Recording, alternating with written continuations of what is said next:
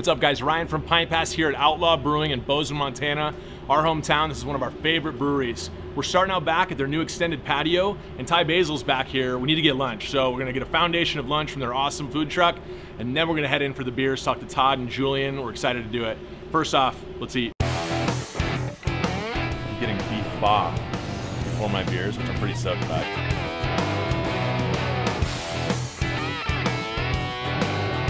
This lunch is awesome. I'm gonna finish this up. We're gonna go inside and try some beers and go see what Todd's up to.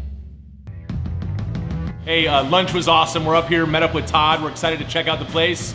Todd, how's it going? Going great, man. Thanks Good? for coming yeah, out. thanks for Appreciate it. having us, man. Appreciate it. So you're the owner, president, janitor. What are you?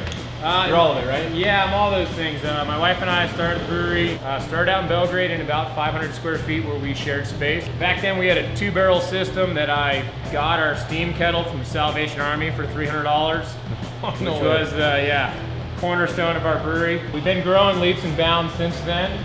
Went from about 500 square feet to almost 10,000 square feet in this Wow. building. When you moved in here, you added a canning line as well, right? We did, yeah. We added a canning line. One of the things I wanted to do is uh, have a cooler that ran on ambient air.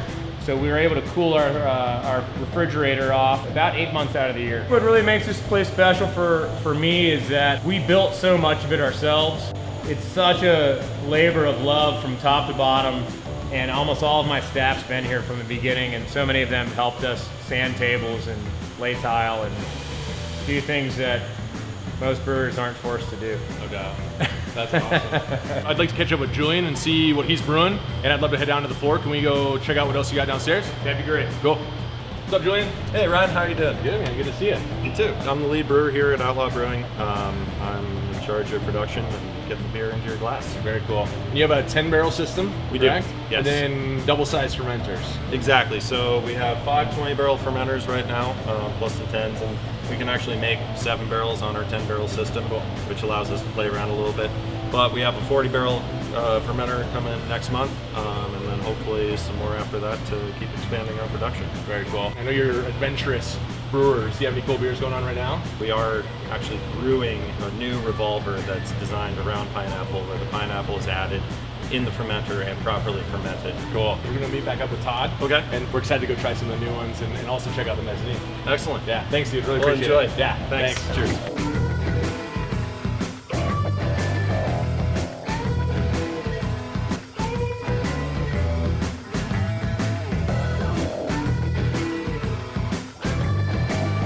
Tell me what I'm drinking. All right, so we got four here. Uh, we typically have 12 beers on tap. Um, so we got our Belgian Saison. Uh, we have our Goemans Gold, it's a honey lemon ginger braggot ale. Uh, we have our Dirk, which is a Scotch ale, and then we have our Mexicali Lager. We actually have four different strains of yeast on this uh, one flight of beers. Should I taste in that order? Saison first. Sure.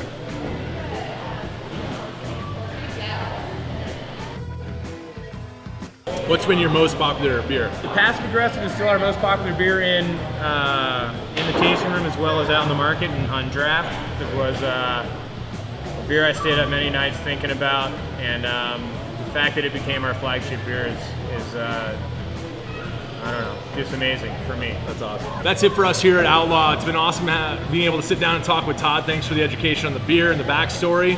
Uh, Pint Pass members, come in and check out Outlaw. It's one of our favorite breweries here in Bozeman. Pint Pass members get 50 cents off your first pint, a dollar off your first growler every day, and they're tab members, so you can text your friends beers um, and redeem them here at Outlaw. We- We've invited some friends. We're gonna go have some pints with them and enjoy ourselves. Thanks for watching.